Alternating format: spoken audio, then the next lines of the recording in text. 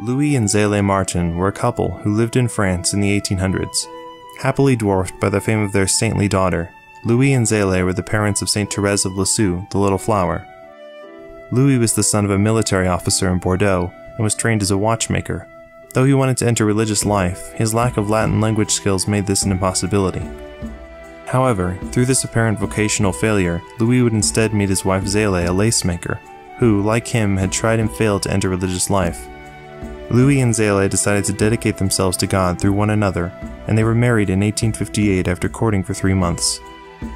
The couple had nine children, although only half of them survived to adulthood, all of whom were women who entered religious orders.